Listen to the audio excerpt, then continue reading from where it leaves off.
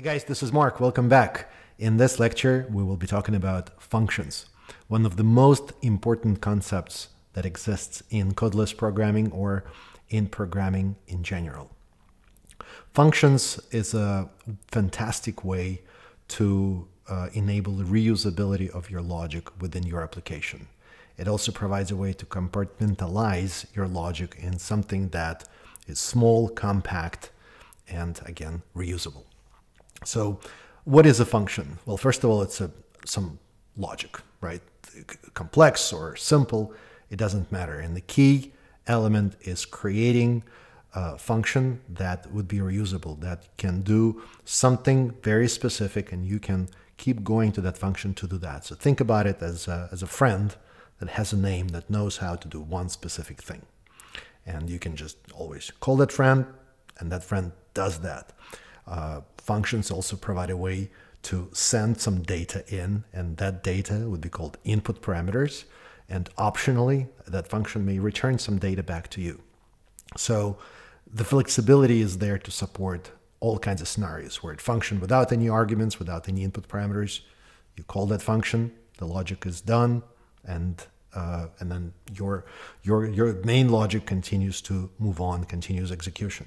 You can call a function, pass in those input parameters. Once again, the, the function processes uh, whatever data it got, you get the result, and it may return that result back to you.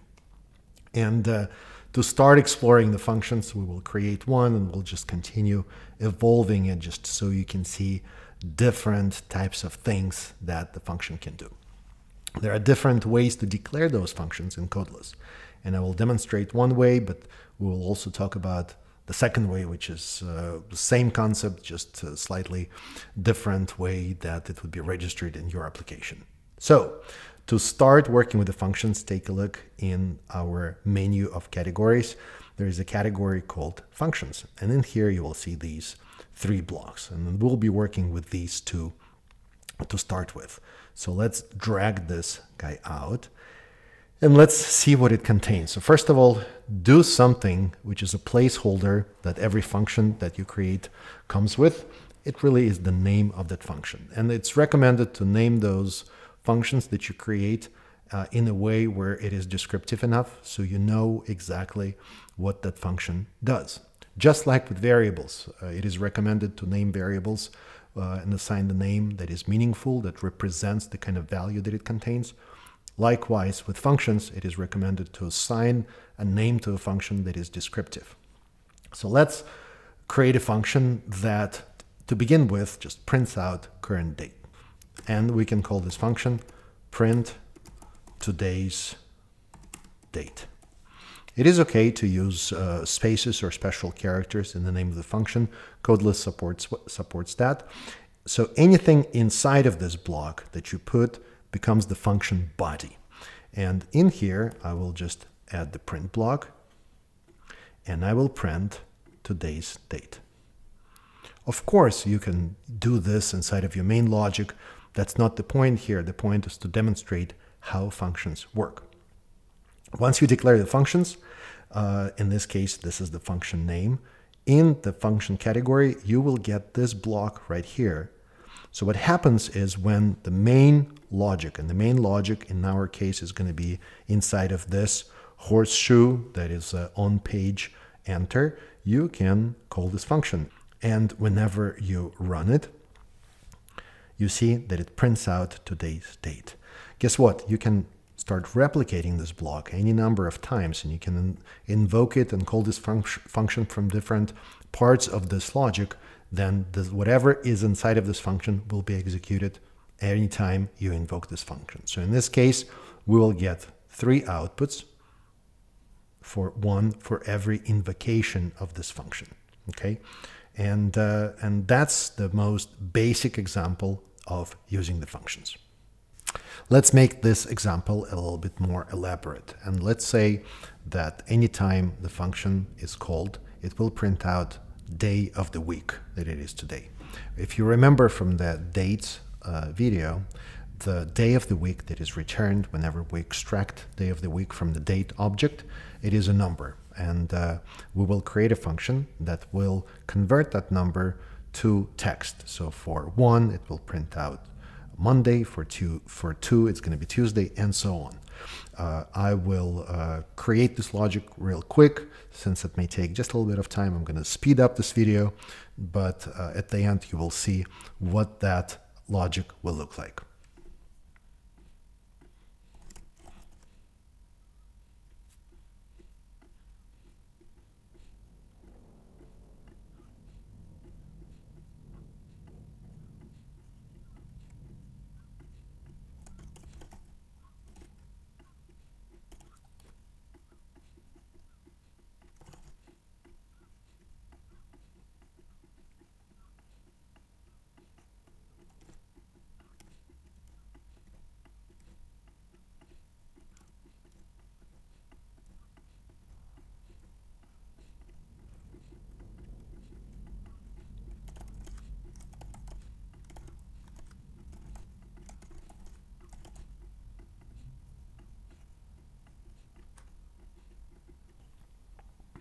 Okay, so now we have this logic, and to walk you through, we get the day of the week from the today's date, and it is stored in a variable that is called day of the week.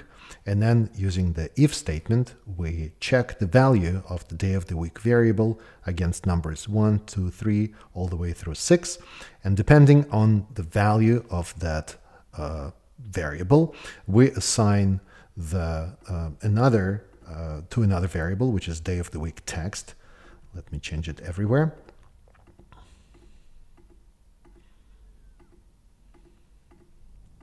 So the day of the week text gets the corresponding string value, which will be Monday, Tuesday, and so on.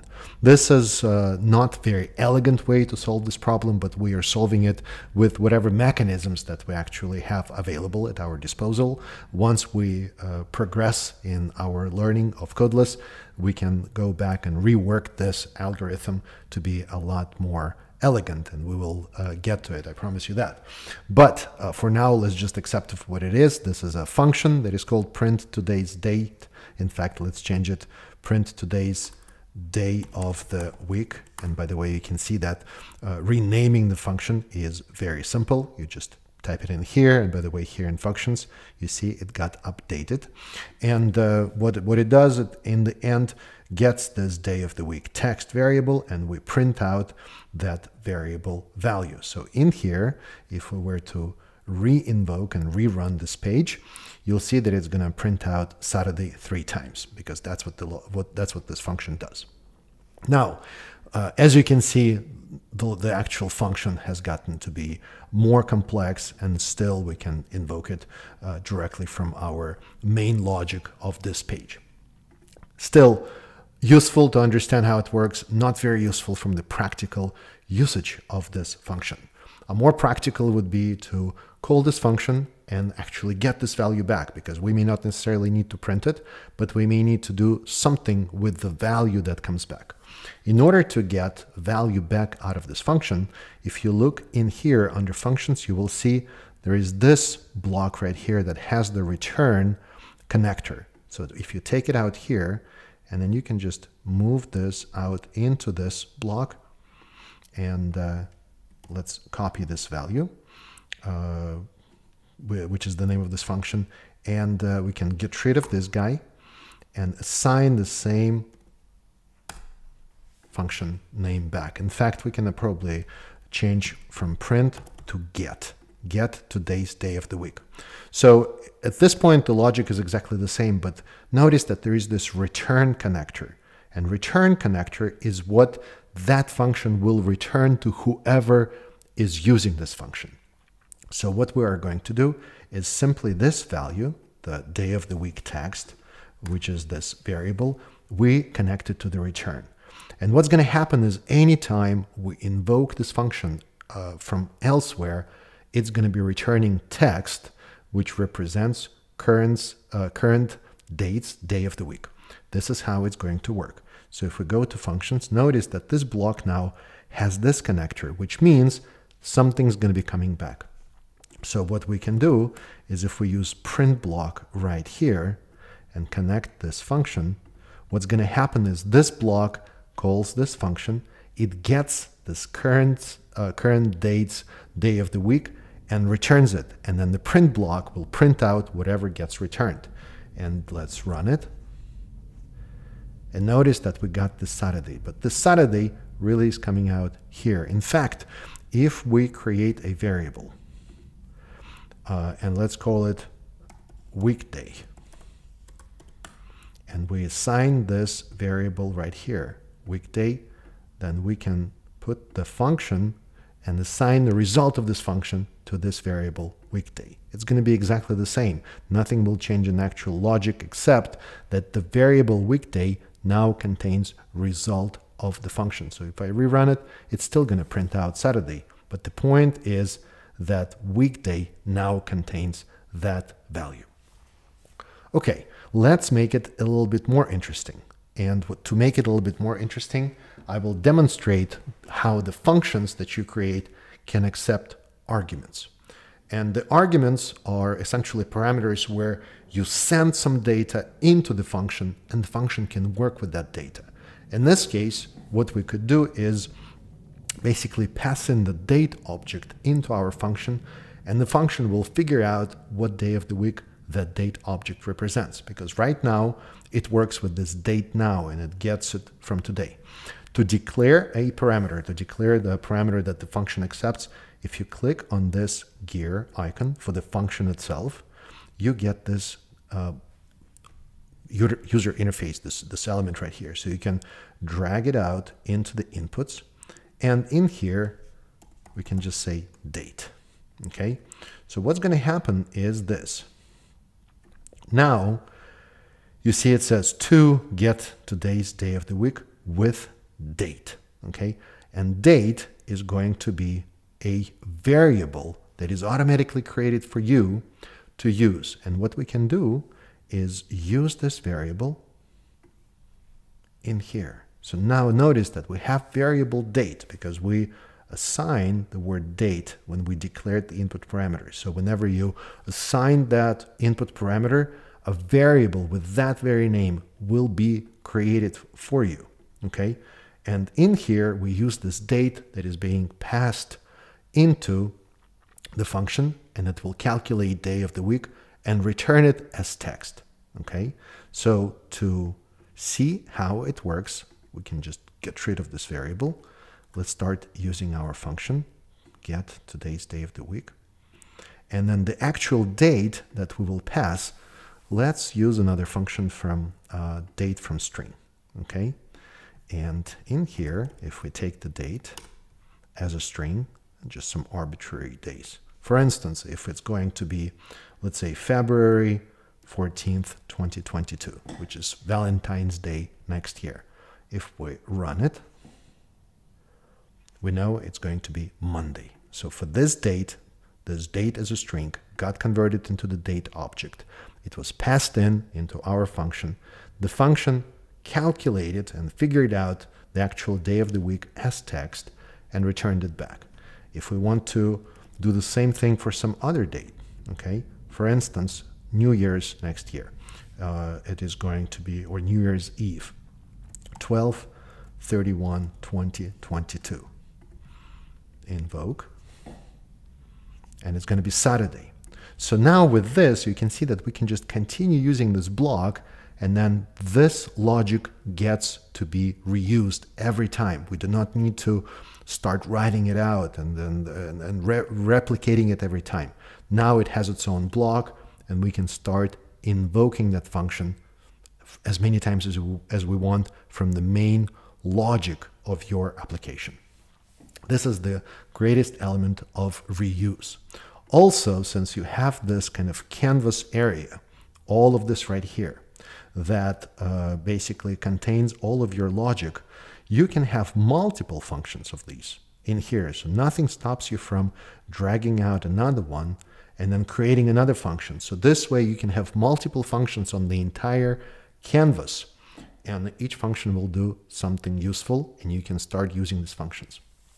There is a lot more to it where function can invoke another function and that's going to be reviewed in the next lecture all of this is possible. Also in here, whenever you have arguments, nothing stops you from adding more arguments to it. So if you need to pass more than one value, no problem. So here you can actually do as many as you need. In our case, we need only one, which is date, and that's what it does. All right, early on in this lecture, I mentioned that the functions can be created in into different ways. So the function that we have declared here, and this function's name is get today's day of the week.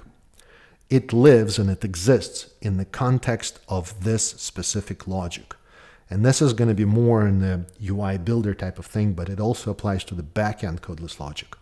But keep in mind, so whenever you have functions that are sitting on the same canvas, the scope of this function, meaning the kind of the territory in which it lives, in which it is recognizable, in which it can be invoked, is going to be localized to that specific canvas. It is also possible to create functions that are more global. In this case, let's say with UI Builder, those functions will be reused and will be visible to multiple pages. Or in the backend logic, you can create a function that can be reused and will be visible in multiple API services. Uh, the concept is going to be exactly the same as far as declaring those functions. So with UI Builder, if you go into this functions area, you can declare a new function, and let's call it test function. It is now created. And then here, you basically got this uh, block uh, where you put your logic in there. And using the same principle, you can add input arguments. And in fact, in here, you can assign the color of that block. Okay, so if you want to be green, it's going to be green. I think once uh, once I close it out, it will actually be, well, the actual block that will represent is going to be green. You can put description, help URL, all this good stuff. And in here, if I go back to my main logic, in the custom functions, we see this, we have this test function that is green, okay? And uh, that's how you create functions that have higher level visibility. This is a, a little tidbit that's kind of good to know at this point. It's not critical. We will continue exploration of the functions that are scoped to the same canvas. Uh, and then once we start getting more into the area of learning codeless logic in UI Builder and codeless logic in backend services, that's where they will become useful, that knowledge that you just obtained. But for now, that's uh, what I have prepared to share with you. There are a few more topics that I would like to cover on the functions, just to demonstrate their power, to demonstrate how to exchange data and do the processing. Uh, we will talk about recursion in the next uh, lecture. So those are going to be very important concepts to remember. I do hope you found this useful. I'm sorry this lecture turned out to be a little bit longer than I have anticipated, but it's a very important concept to grasp as to the importance of the functions and what they can do for your overall logic programming. Thank you for watching this video, guys. And as always, happy codeless coding.